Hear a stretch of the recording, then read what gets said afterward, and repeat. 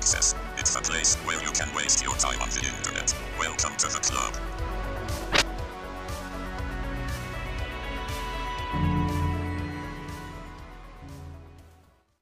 Discovery of ancient singing dog species may teach us about human vocalization.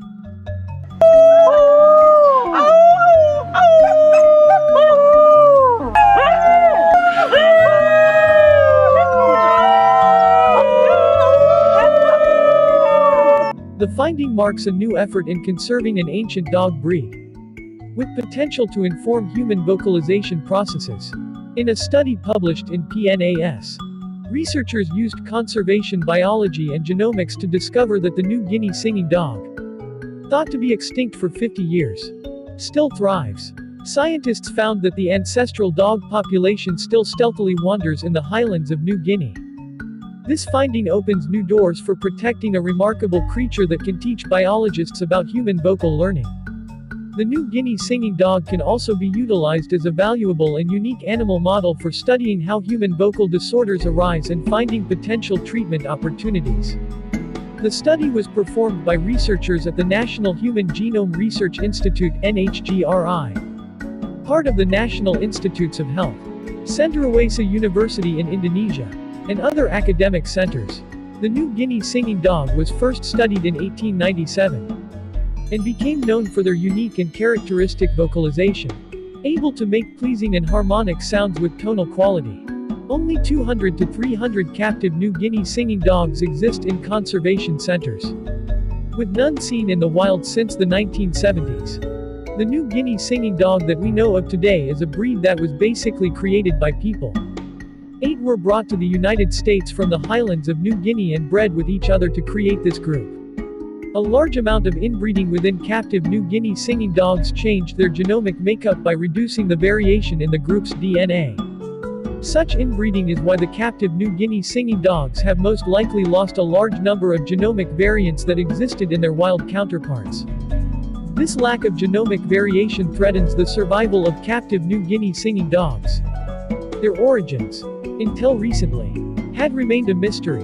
Another New Guinea dog breed found in the wild, called the Highland Wild Dog, has a strikingly similar physical appearance to the New Guinea singing dogs. Considered to be the rarest and most ancient dog-like animal in existence. Highland wild dogs are even older than the New Guinea singing dogs. Researchers previously hypothesized that the Highland wild dog might be the predecessor to captive New Guinea singing dogs. But the reclusive nature of the Highland wild dog and lack of genomic information made it difficult to test the theory.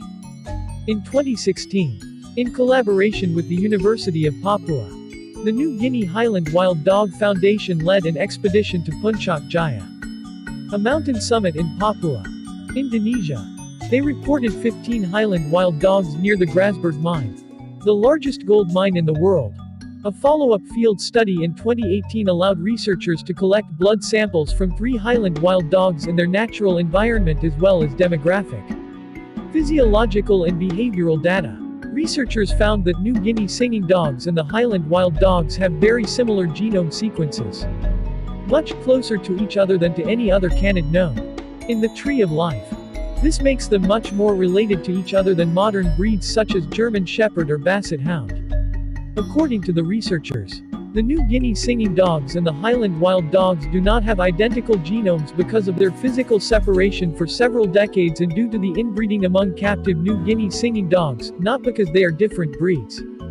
In fact, the researchers suggest that the vast genomic similarities between the New Guinea singing dogs and the Highland wild dogs indicate that Highland wild dogs are the wild and original New Guinea singing dog population. Hence, despite different names, they are, in essence, the same breed, proving that the original New Guinea singing dog population are not extinct in the wild.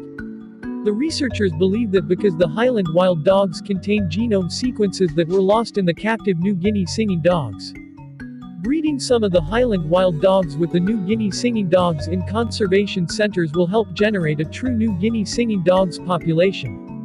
In doing so, Conservation biologists may be able to help preserve the original breed by expanding the numbers of New Guinea singing dogs. This kind of work is only possible because of researchers' commitment to promoting comparative genomics. which allows researchers to compare the genome sequences of the Highland wild dog to that of a dozen other canid species.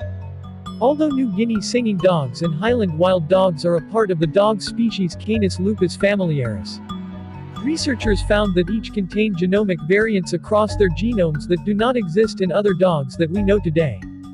By getting to know these ancient proto-dogs more, we will learn new facts about modern dog breeds and the history of dog domestication.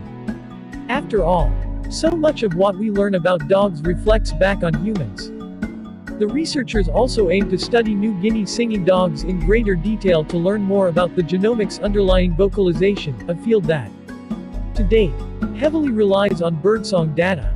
Since humans are biologically closer to dogs than birds, researchers hope to study New Guinea singing dogs to gain a more accurate insight into how vocalization and its deficits occur and the genomic underpinnings that could lead to future treatments for human patients.